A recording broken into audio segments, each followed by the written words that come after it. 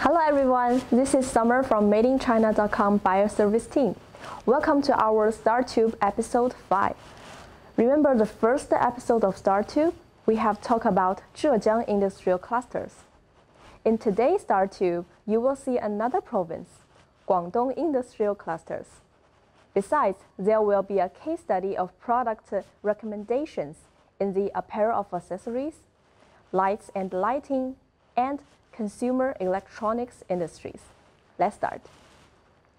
So, Guangdong is one of the leading industrial provinces of China, a coastal province located in the south of China's mainland. Adjacent to Hong Kong and Macau, Guangdong is in the heartland of Southeast China and the Southeast Asian Economic Circle. The clusters in Guangdong province have different kinds of categories this table shows the distribution of product categories in cities and districts. As you can see, Guangzhou, Shenzhen, Foshan, and Dongguan are the main cities on trade. And apparel, electronics, lights become the hot industries in Guangdong. It should be noted that there are two outstanding cities among all the other that worth extra attention, Guangzhou and Shenzhen. The gravity they have on the population and the influence across China make them identified as the Mac City, within which you can basically find all existing industries and well-matured comprehensive industry production lines. There are also two parts of export for them, Guangzhou Port and Shenzhen Port. I will introduce you one by one. So first one is Guangzhou Port. Guangzhou Port is currently the largest port for foreign trade in South China. Its international maritime trade reaches over 300 ports in more than 80 countries and districts worldwide. The port also serves as the important economic and transport center for the Pearl River Delta region and Guangdong province. The second one is Shenzhen Port. The port of Shenzhen is a collective name of a number of ports along with parts of the coastline of Shenzhen. The advantage is that the port, the shipping date is efficient. Usually it takes 5 to 10 days faster than shipping from Guangzhou port. It is also a vital transport hub for industries located in neighboring provinces.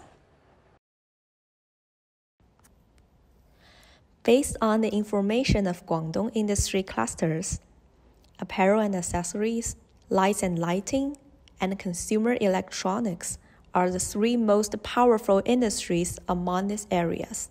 Furthermore, we did some analysis using big data to tell the global trendy products in these industries and how to find suppliers for them. I will use women apparel, dress as an example and you can see the other three in our full report of the text version.